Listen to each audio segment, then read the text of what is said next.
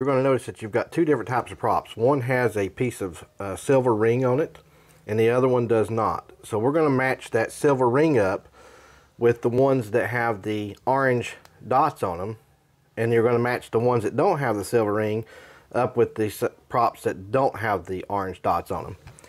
And just pop it right out of here like that. And you'll notice that this motor has an orange top on it. That's what's going to match with the silver circle. Now you're also going to notice that, see those little legs on it right there? They're going to go down inside the motors in these two little slots here. So you want to put it on the motor, uh, the silver side up, the little leg sides down, and you want to just make sure you're going in the center hole, okay? And once you get it on there, you want to just kind of twist it till it pops down. And it'll just pop down now, it's, it, it'll actually turn the motor. And then you just take the screws that came with it.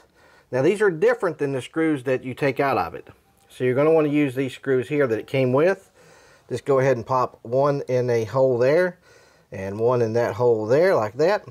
Take this same Allen wrench and you want to tighten them down and then tighten the other one down. Now once you get them tight like this, then you want to just hold the prop and you want to just give it a slight twist. Now you don't want to be too tight with this, okay? So you'll see I'm just giving it just a little bit of a twist and then I'm going to go over here to this one and I'm just going to tighten it down just a little bit because you definitely do not want to over tighten these. You will strip them out and then you'll never be able to fit a screw in there again. And you just repeat the same process. And so what we'll do is we'll just go ahead and take the screws out of this side here. Then I'll take this screw out here. Then we'll just prop, pop that prop right off of it. And then I want to find the other prop that has the piece of silver ring around it. And I want to match it to this orange motor here by putting it on here in the center hole and then just twisting it until it pops into place like that and then I'll put these screws in and then I'll put these two props on these two spots here because they don't have the silver rings